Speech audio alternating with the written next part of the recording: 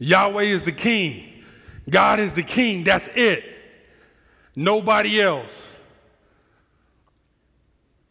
I've been chewing on this lesson for, for a hot minute. You know what I'm saying? And, and I, I really feel like it's important that we really just go back to the gospel at its rawest form.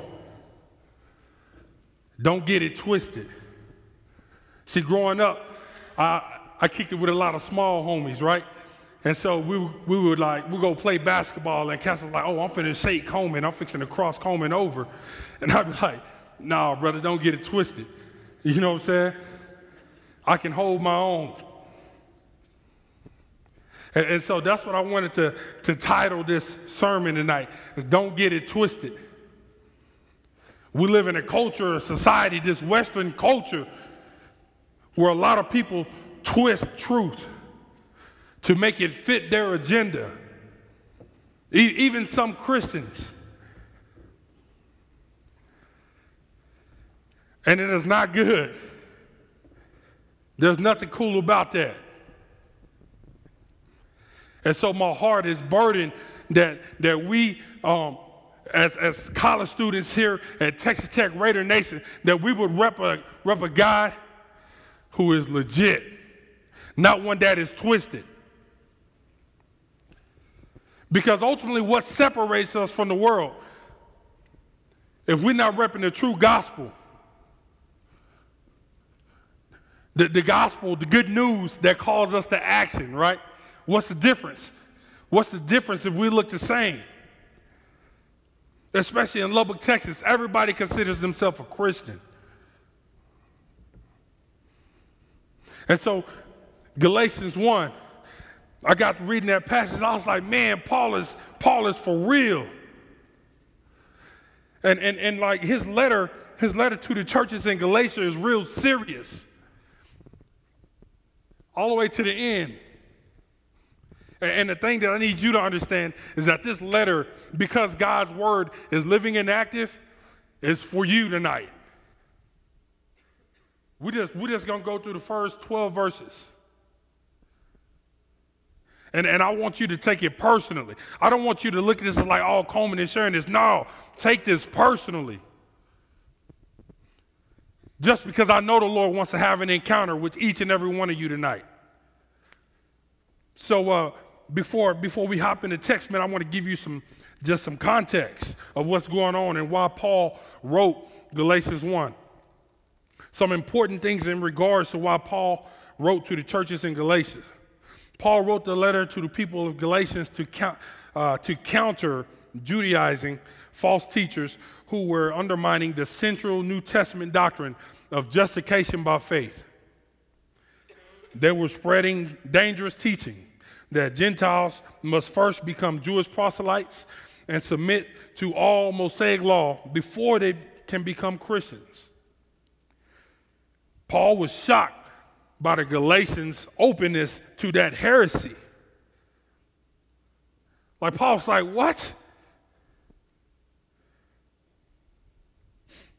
He wrote to the letter to defend justification by faith and to warn the churches of banning the essential doctrine. So, as Paul went to, to, to Galatia to, to do mission work, to, to teach the gospel, they took it, they accepted.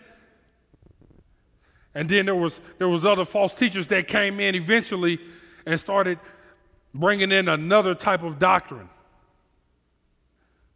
And, and the bad thing about it is, is a lot of a lot of these believers were open to it. Somehow Paul caught wind of it. It's like, man, I gotta write them. I gotta share my heart. And so here's where we are. Galatians 1. Remember, this is to you tonight. Paul, an apostle sent not from men nor by a man, but by Jesus Christ and God the Father, who raised him from the dead, and all the brothers and sisters with me, to the churches in Galatia. Grace and peace to you from God our Father and the Lord Jesus Christ. who gave himself for our sins to rescue us from the present evil age, according to the will of our God and Father, to whom be glory forever and ever. Amen. I am astonished that you were so quickly deserting the one who called you to live in the grace of Christ and are turning to a different gospel, which is really no gospel at all. Event, evidently, some people are throwing you into confusion and they're trying to pervert the gospel of Christ. But even if we or an angel from heaven should preach a gospel other than one than the one we preach to you, let them be under God's curse. As we have already said, so now I say again, if anybody is preaching to you a gospel other than what you accepted, let them be under God's curse. Am I now trying to win the approval of human beings or of God? Or am I trying to please people? If I were still trying to please people, I would not be a servant of Christ. I want you to know, brothers and sisters, that the gospel I preach is not of human origin. I did not receive it from any man, nor was I taught it. Rather, I received it by the revelation of Jesus Christ. Don't get it twisted. Envision this God the Father, creator of the universe, chilling, posted up with Jesus and the Holy Spirit. They go in and start creating. God doing it just by speaking it to existence. That's what's up. And then, like, we get to Genesis 1 26 and 27, and, and God is like, let us make man in our own image. That's a big deal. That's a privilege. So ultimately, we were created to reflect God's glory. That's it. We were created in His own image. What a sweet privilege. That's something that you need to take ownership tonight. Because we were created in God's own image. That's not just a cute fairy tale story. So then we get down to Genesis 2. And God gives Adam and Eve a commandment, right? Says, yo, you can eat from anywhere in this garden, but you can't eat from the tree of the knowledge of good and evil, because when you eat from it, you will surely die. Period. The cool thing about that in Genesis 2 is it wasn't a suggestion, it was a commandment.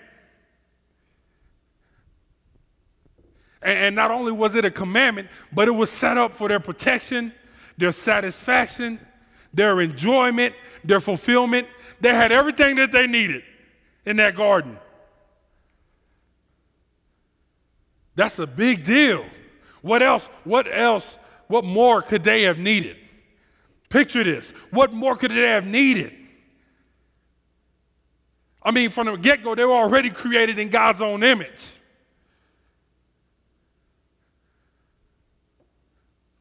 And then we get to Genesis 3. And the serpent is it makes its way to Eve. And, and before I hop in in Genesis 3, John 10 10, the first part, says the thief comes only to steal, kill, and destroy. That's it. The thief comes only to steal, kill, and destroy. Yes, God has a plan for your life, a specific plan for your life. And that's to glorify Him and everything you do and to reflect His glory. But on the flip side of that, Satan does have a plan for your life. Satan does have a plan for your life. John 10 10. The thief comes only to steal, kill, and destroy. So, in other words, sin doesn't come to be your best friend. Sin doesn't want to see you be the best person you can be. Sin doesn't want to see you meet your significant other. As a matter of fact, sin wants to keep you so divided from anything that has to do with God's goodness.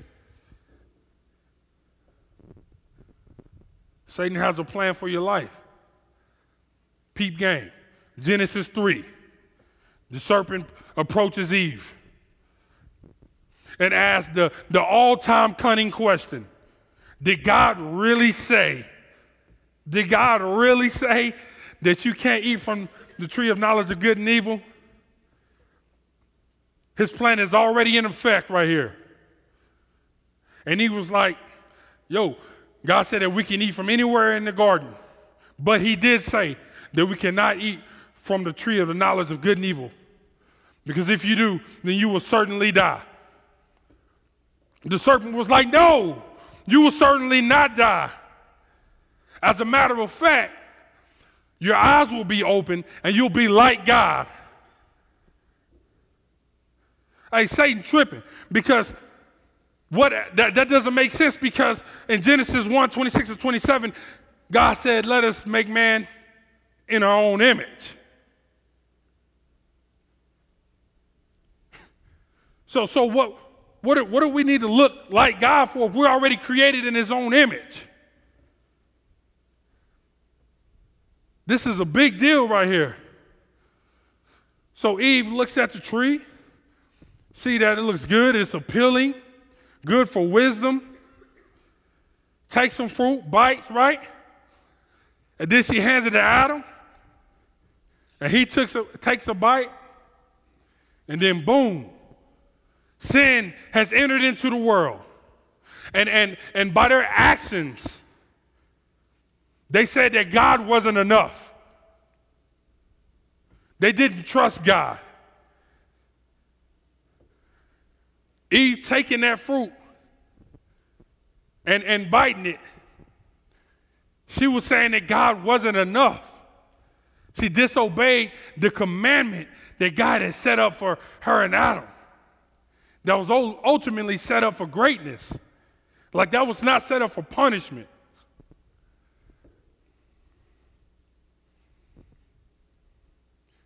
And long story short, sin is here now.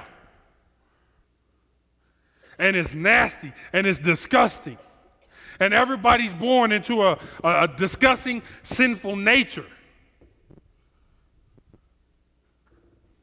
And to make matters worse, we got kicked out of the garden. Adam and Eve got kicked out of the garden, which is symbolic to them being kicked out of God's presence. And to make matters even worse, they couldn't eat from the tree of life anymore, which is symbolic to them being in a covenantal relationship with God the Father. They couldn't eat from the tree of life no more.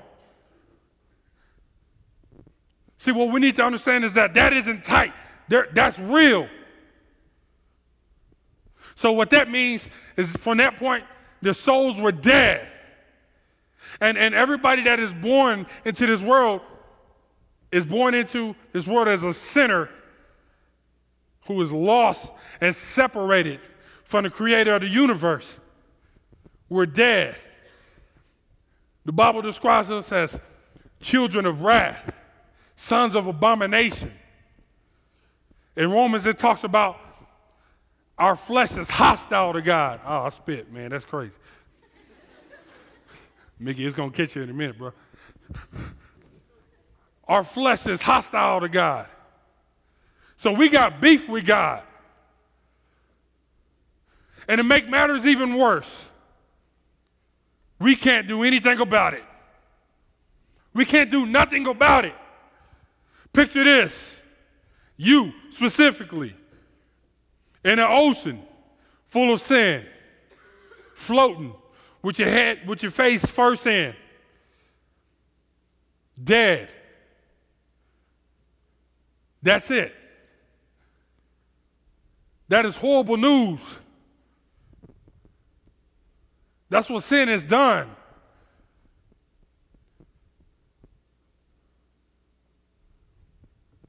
But thanks be to God and His love, His unconditional love for humanity that he sent his son, Jesus Christ, to live a perfect life, be faced with the same type of temptations that we were or are. And not only to live a perfect life, but to take the penalty for what we as humans deserved death. I think Romans 6, the first part of that verse, Romans 6 23, I think. For the wages of sin is death. That's it.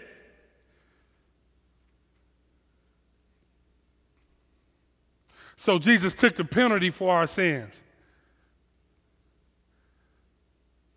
Something that we deserve. God showed his grace.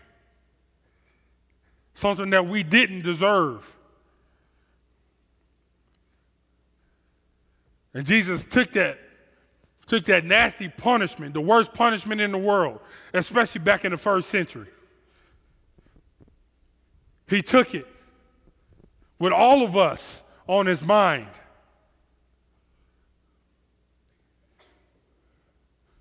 And things just got even more swagtastic. He rose three days later, resurrected like a grown man, and defeated death. That's a big deal for the sake of us being reunited back to the Father, God the Father.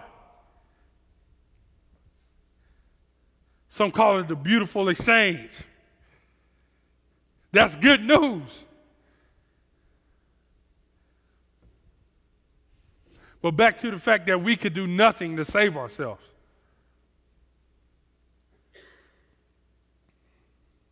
So while we're laying face first in that ocean of sin, floating, God reaches down, picks us up, and breathes life back into us.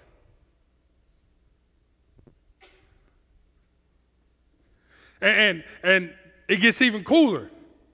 Not only does he breathe life back into us and awaken our soul, he holds us tightly in his hand because his love is unconditional. Because we fall short day in and day out. The Bible says all fall short of the glory of God. And so I, am reminded of that song that says, Your love never fails, it never gives up, it never gives out on me. That's all I can think of, of when he's holding you and me in his hand, saying, I got you.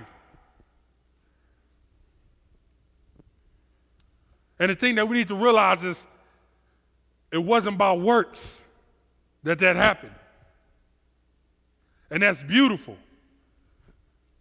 Because these Judaizers in Galatians 1 add that element. And, and, and they expected the churches in Galatia to uphold these Mosaic laws before they could become a Christian. But New Testament doctrine says that Christ died for all, once for all. There's nothing we can do. His grace is that sufficient, that adequate.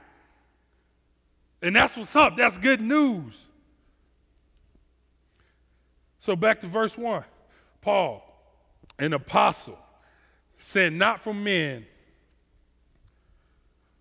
nor by a man, but by Jesus Christ and God the Father, who raised him from the dead, and all the brothers and sisters with me. See, from the get go, Paul is establishing his identity in this letter. He's like, hey, brother, I don't belong to you. No one on earth gave me this status as an apostle.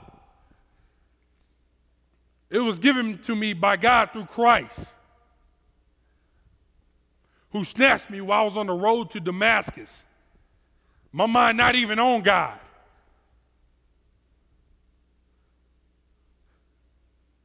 And that's something that I want to remind you is like, hey, if you're a believer tonight, you didn't do it. God did it. And that's what's up. You wouldn't want that type of power anyway. You couldn't handle it. I for sure couldn't handle it. So I'm thankful that, that the Lord of my life knew what he was doing.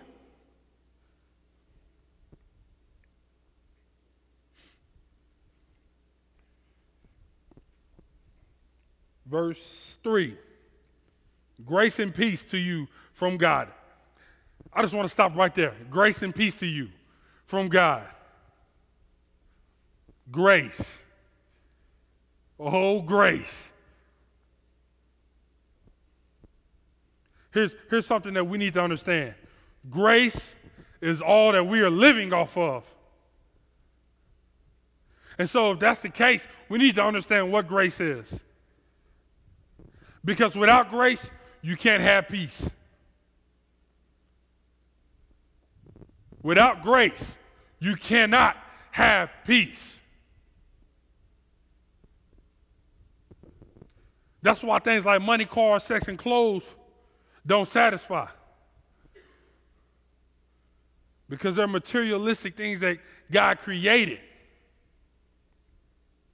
And those things can't give grace.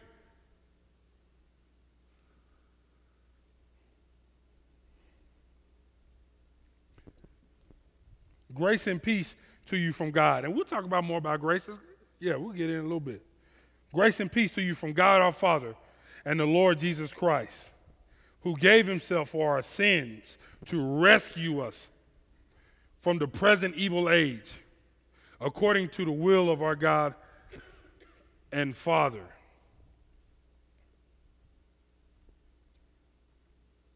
Read that again. Grace and peace to you from God our Father and the Lord Jesus Christ, who gave himself for our sins to rescue us from this present age. It's crazy, man. Age has a lot of meaning to it in the Greek, man. I, I was like, dang, that's, man, that's crazy. Age does not refer to a period of time, but an order or a system.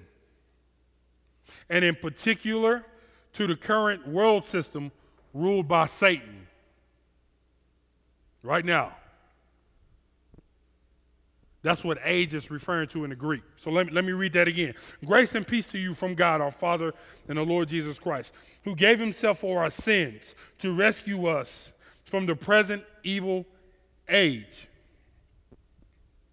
according to the will of our God and our Father, to whom be glory forever and ever. Amen. So not only did the God send his son to rescue us, right, to pull us out of that nastiness that we couldn't pull ourselves out of. Not only did God do that, but he gets his glory forever and ever and ever. See, y'all need to realize what Paul is doing is he's setting the tone with the gospel in its rawest form saying, hey, don't get it twisted. This is what the creator of the universe, God the Father, called you to.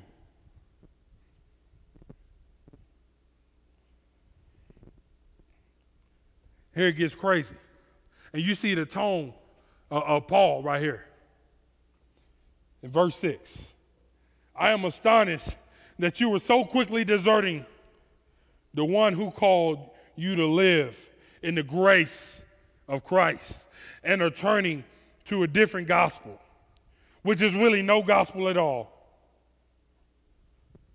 I am astonished that you were so quickly deserting the one who called you to live in the grace of Christ. Grace. Grace can be defined as unmerited favor, right? Unmerited favor, something that I didn't deserve.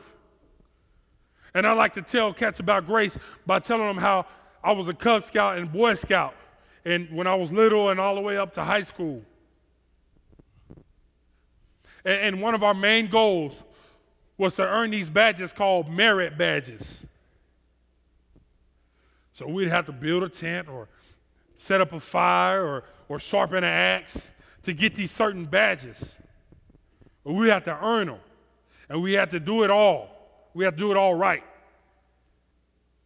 So, so grace is defined as unmerited favor.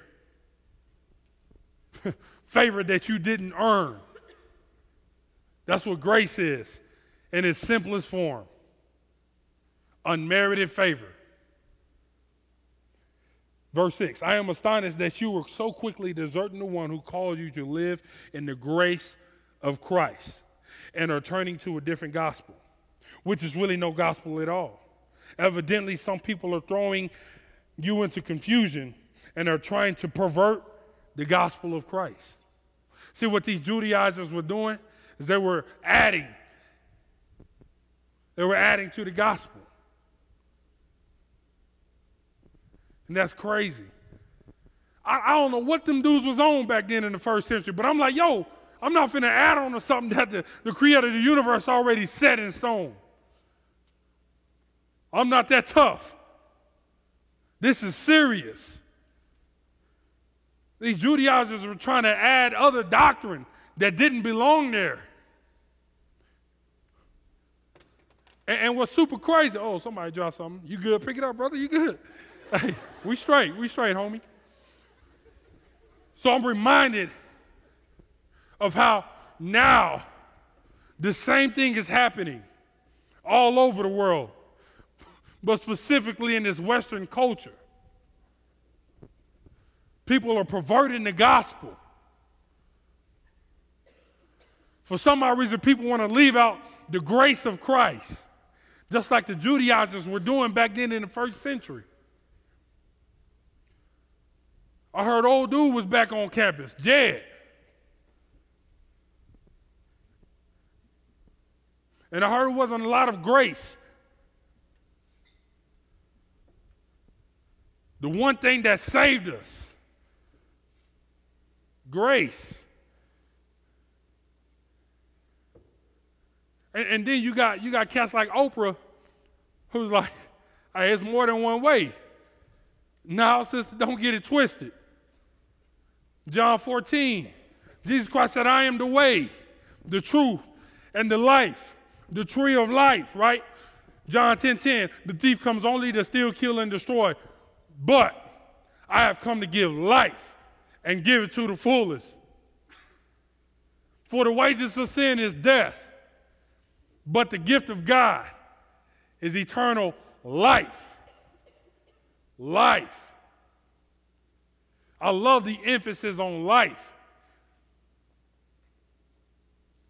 Because that's what we were ripped from in the beginning, the tree of life. And so Jesus came to be the tree of life again. And, and, he came to be the second Adam. It talks about that in the book of Romans. And, and he came to do God's purpose, and that's reflect his glory. And he did that. What a beautiful example.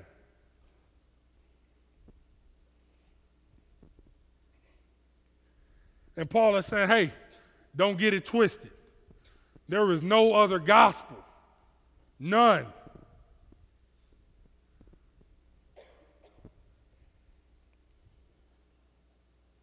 Verse 6 I am astonished that you were so quickly deserting the one who called you to live in the grace of Christ and are turning to a different gospel, which is really no gospel at all. Evidently, some people are throwing you into confusion and are trying to pervert the gospel of Christ. I think about the Mormons. A lot of their religion is based off of works. Buddhism, based off of works. Man made religion. Man made religion is not good enough. Because the Bible says no one is good, not one.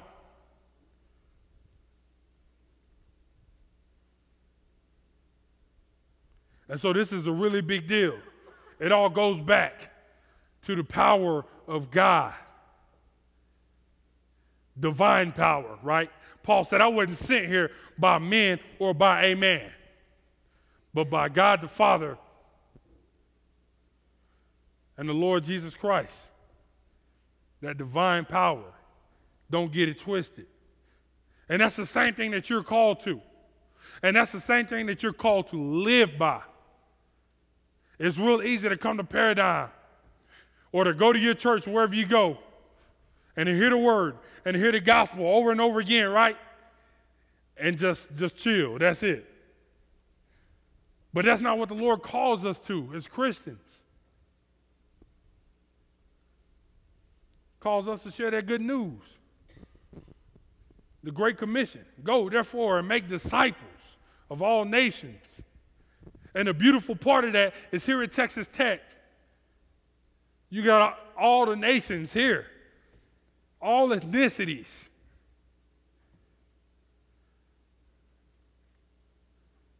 You are to be on mission every day of your life for the sake of the gospel.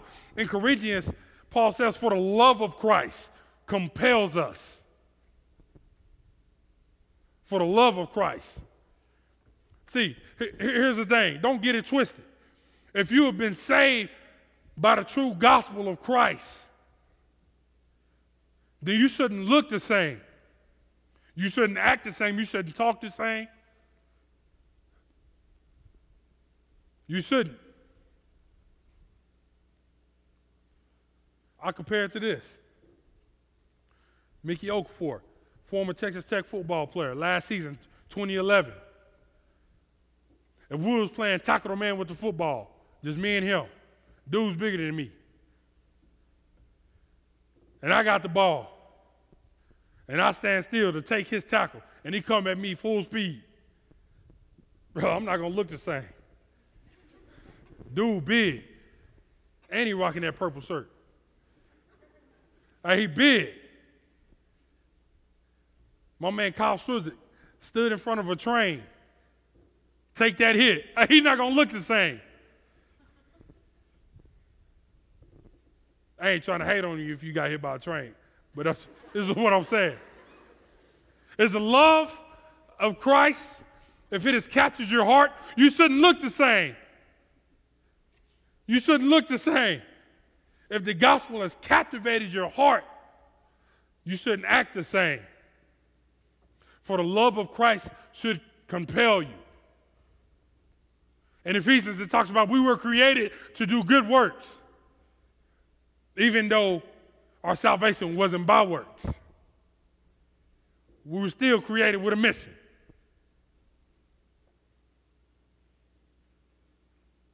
It, it says we, we are, for we are God's workmanship, to cre- created to do good works. So, so let, let me tell you, if you didn't think you have a purpose, you do. You're created to do good works because you are God's workmanship. That's a privilege. It's a privilege to be called God's workmanship. See, sin will try its hardest to say, hey, you're not really worth a whole lot. You got to do this, this, this, this, this to earn God's favor and God's love.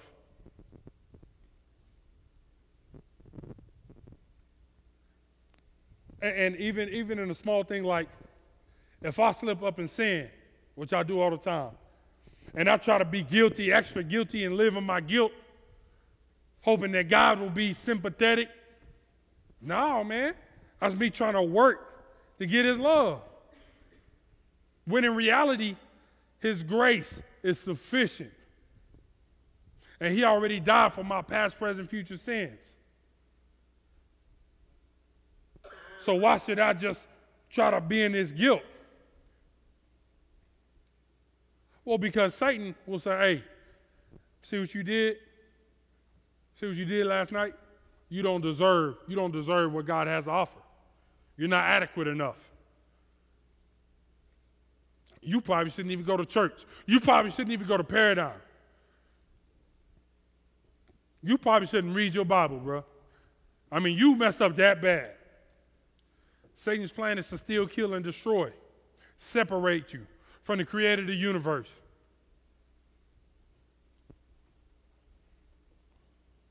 Verse 8, it gets real. But even if we or an angel from heaven should preach a gospel other than the one we preach to you, let them be under God's curse.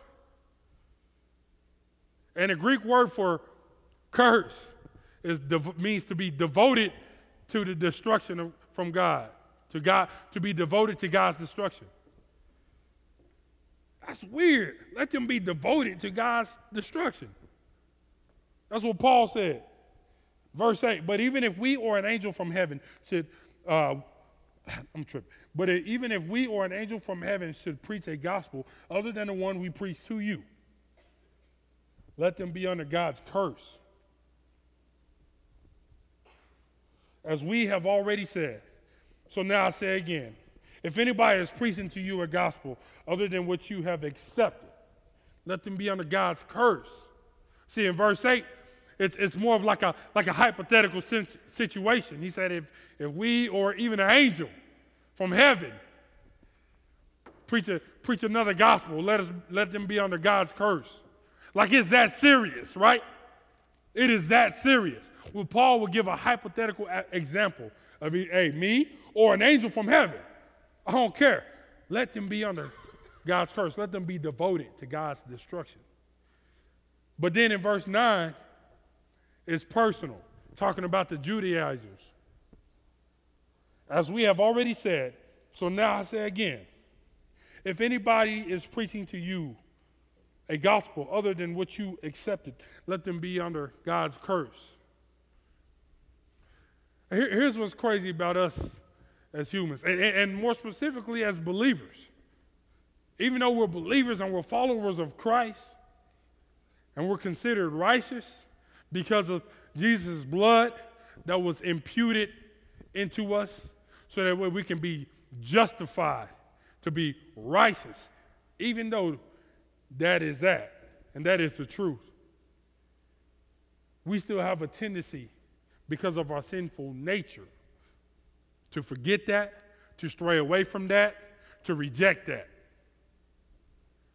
So in Galatians 5, Paul says, So I say, walk by the Spirit, so that you won't gratify the desires of the sinful nature.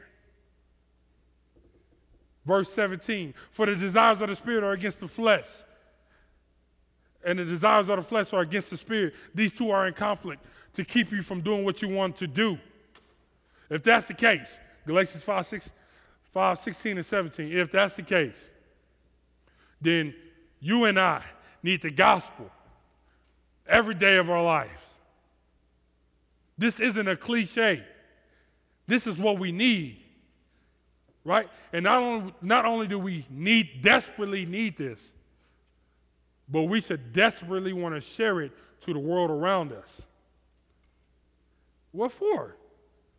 Because people were born into this world as sinners. And they desperately need a Savior. Because sin does nothing good. And, and they're not living.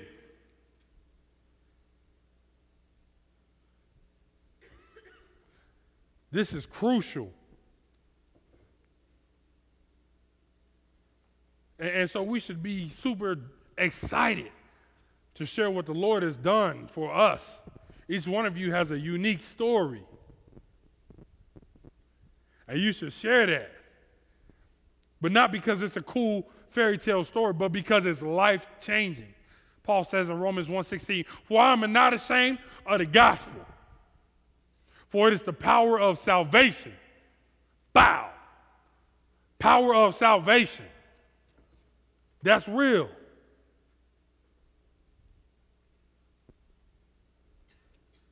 So that's why you hear terms like live a gospel centered life or have a gospel centered relationship.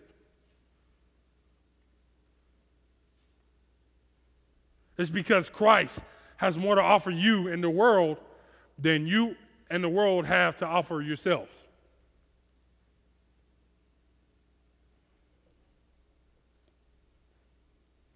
Verse 10 Am I now trying to win the approval of human beings? or of God? Or am I trying to please people? If I were still trying to please people, I would not be a servant of Christ. I'll be the first to admit that I seek the approval of human beings all the time all the time. And that's not good. And so, and so in a world where we as believers are called to share the good news of Christ, the gospel, the whole gospel, and we shouldn't be unashamed. I mean, we shouldn't be ashamed. And not only that, we should share the gospel in its rawest form. People need to know, like, hey, like your current circumstance is not good. We, hey, we as believers, man, we scared to get called judgmental these days. We, don't, we, we worry about offending somebody, somebody at the workplace, somebody in my classroom. For me, I'll be like, nah, look, man, I'm gonna build this relationship with old dude, I'm gonna love on him, and then from there, that's where I'm gonna go, which is important, but I never get to the gospel. It's a cop out. I know what I'm doing. People out there are dying and are confused and are scared and are looking for hope. Sin is so crafty that it has developed these terms like agnosticism, atheism. That's crazy. But you know what? I'm not tripping though because I was one before I knew the Lord.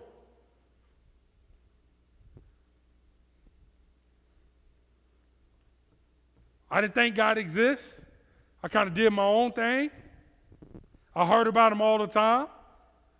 Even went to vacation Bible school to get free Kool Aid and cookies.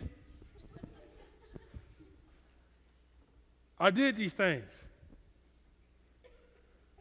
But I'm so glad that Christ captured my heart.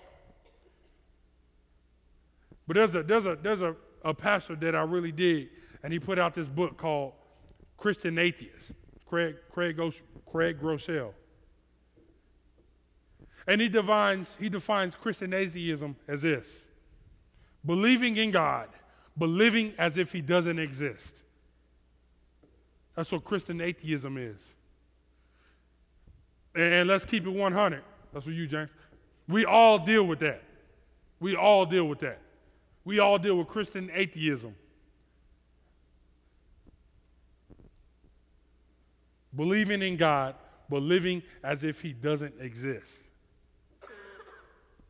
Let, let, me, let me make Christian atheism practical to you, fellas.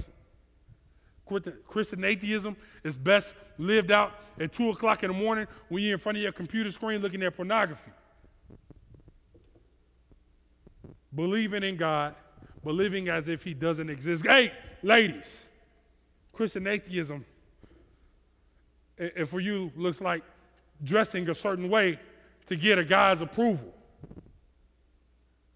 Believing in God that He has fearfully and wonderfully made you, but not living as if that is really true. Don't get it twisted. You are God's workmanship, created to do good works.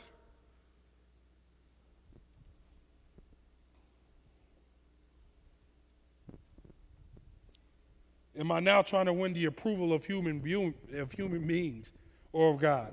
Or am I trying to please people? if I was still trying to please people, I would not be a servant of Christ. Hey, that's, that's black and white right there. That's, that's clear as day. If I were still trying to please people, I would not be a servant of Christ. Is that real? Your relationship with God the Father, is that real? that if you're trying to win the approval of other, others around you, can you really call yourself a servant of Christ? Because ultimately, what you're saying is, I still got a selfish, selfish agenda.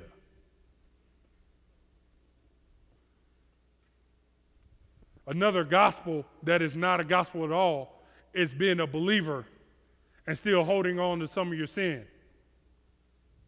That's definitely not good news.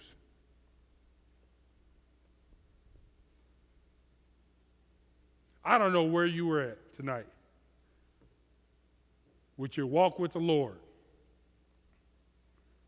But what I do know is that, that Paul is, is serious when he's talking to these churches in Galatia about living in the grace of Christ. Some of you been slipping up, like me. And, and you haven't been living in the grace of Christ. Instead, you've been trying to do it on your own.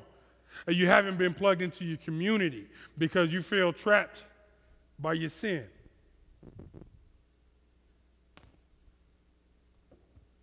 Because God's love is unconditional. And He sheds grace to each and every one of you. You have the option to repent day in and day out. Repentance can't be, ju- be just another ritualistic religious act. Repentance has to be authentic. And it comes from having a reverence, a, a, a healthy fear for the God the Father. See, when, when Eve took the fruit off the tree, I'm not for sure if her reverence was authentic because she didn't trust God in that moment. What he had to offer her and Adam wasn't good enough. And we do the same thing today. We, we indulge in sin, and, and we try to find our satisfaction in it, and it burns us every time. For the desires of the flesh are against the spirit, and the desires of the spirit are against the flesh. These two are in conflict with each other to keep you from doing what you want to do. Hey, this is real. John 10 10, back to it. The thief comes only to steal, kill, and destroy. That's for real. I need, I need that. No, I, that needs to be real to you tonight. And you need to find your satisfaction in Christ alone tonight. I'm married to a super fine woman, Megan Orr.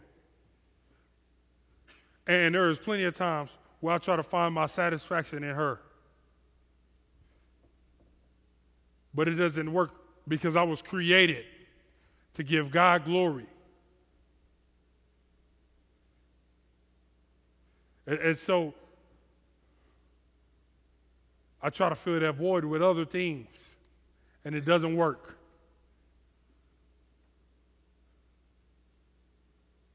So tonight, you got to get real with God. Because some of you been getting it twisted. Just like some of the, the, the, churches in Galatia. They were trying to live by works. They started to live by works. They were open to that. And the beautiful thing about grace, that it, it covers your sin as far as the east is from the west. In Romans 8, Paul also says this Shall we go on sinning so that grace may abound? Comma. Certainly not. So grace isn't a license to keep sinning. Like, oh yeah, the Lord got me. No. I mean, he does, but that's the wrong view of grace. In Romans, it also talks about how God's kindness leads us to repentance. And that comes with having a clear view of what the gospel has done. You should be so moved by what the gospel has done for you that you would want to turn away from what you're, from what you're currently dealing with. Somebody at the band come back up. And man, uh, if you don't know Christ here tonight, God wants to have an encounter with you, and He wants to have a relationship with you. You may be feeling like, yo, I'm too messed up. I got to get some stuff together. No way, because you can't. You can't. So you might as well come to God as you are. Because His grace is enough. And then, and if you're a believer in here tonight, the charge for you is are you really living in the grace of Christ? That's a question that I'm faced with as well. Paul said, I am astonished that you were so quickly deserting the one who called you to live, the one who called you, the one who called you to live in the grace of Christ and turning to a different gospel, which is really no gospel at all, which is really no good news at all. There's only one way to the Father, and that's through Jesus. And that's cool though. And so tonight, man, I challenge you to, re- to repent. Get real with yourself. And I also challenge you to pray for your, your friends that are unbelievers. And I also challenge you to share the gospel to the world around you. Like this is why you were brought to Raider Nation for such a time as this, where things are crazy, where gay marriage is becoming a big topic. That's a gospel in itself gospel, quote unquote, which is really no gospel at all. The creator of the universe knows what he's doing, and everything he set up was for our good. And so, just like Eve decided to, to go to the tree and take some fruit, she said, Hey, God is not good enough. And, and we as humans, we say, oh, well, I want to get with the same sex. We're saying God is not good enough. What he created was not good enough. And we know that is not true. I'm not really trying to take some stabs, but I really am. Because Paul said, hey, I'm astonished that you're turning to a different gospel, which is really no gospel at all. So, hey, tonight, get real. If you need someone to talk to, I'll be up here. Or sit right in your seat and get real with God the Father, who oh so loves you. Father God, thank you so much for what you were doing. I'll be the first to admit that tonight I'll be tempted and I'll be prone to fall short. And so I need you. I need you right now, Father God. Thank you for what you're doing, God. I ask that you would break down and smash some barriers tonight, Father God. I know you can do it. Thank you. You know, I pray.